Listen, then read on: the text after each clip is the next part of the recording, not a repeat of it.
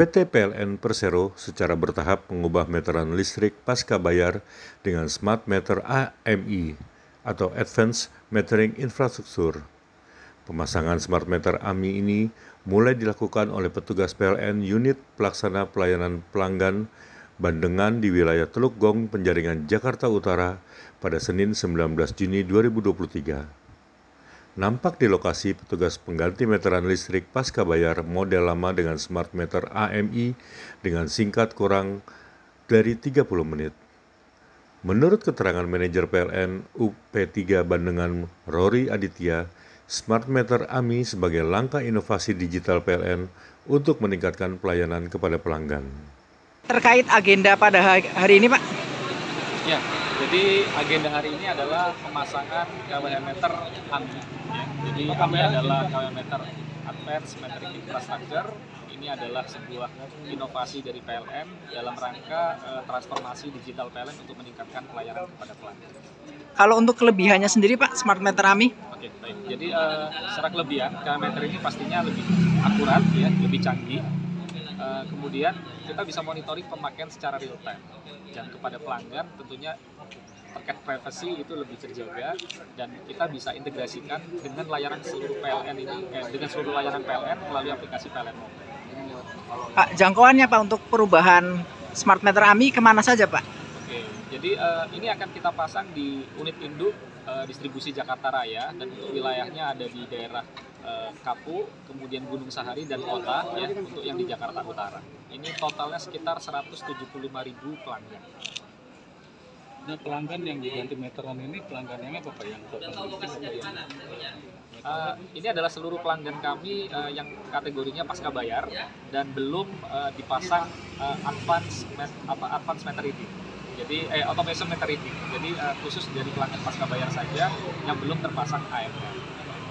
Ini sistemnya langsung terkoneksi ke PLN langsung atau gimana? Betul. Jadi uh, advanced metering infrastructure ini karena dia adalah meter canggih, dia bisa uh, dilakukan komunikasi dua arah dan dia uh, terintegrasi dengan sistem kami yang ada di uh, PLN ya. Uh, jadi dia bisa dikomunikasikan dua arah, terintegrasi secara uh, digital.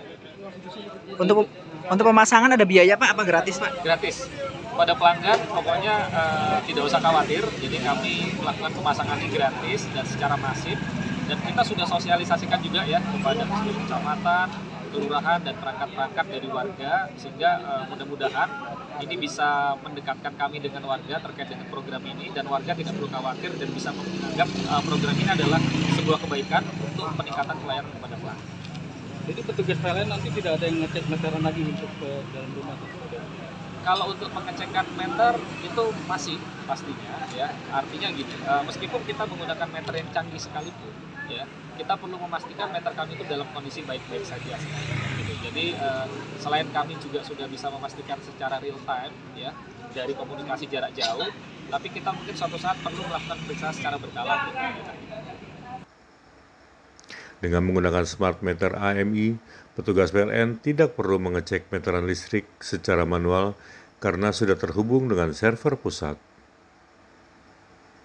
PLN UID Jakarta Raya menargetkan pemasangan 175.000 smart meter AMI di, di sejumlah wilayah secara berkala gratis tanpa dipungut biaya.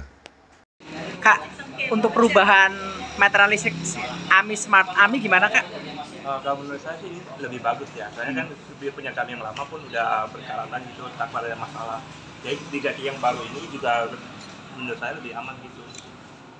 Tapi untuk meteran lama sebelumnya ada keluhan kalau meteran lama sebenarnya dulu sekitar 2019 itu pernah kejadian korsleting terus muncul api cuma udah diperbaiki. Jadi kalau ini diganti-ganti baru juga lebih bagus sih. Tapi untuk meteran terbaru ini sudah ada uh, pemberitahuan nggak sosialisasi uh, pemberitahuannya sih baru beberapa hari lalu sudah dikasih tahu ada penggantian acara.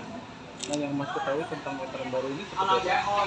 Uh, katanya sih uh, sekarang kan nggak perlu ada petugas lagi yang datang rumah. Jadi sekarang serba digital gitu. Jadi kalau ada masalah pun dari pusat bisa langsung bisa.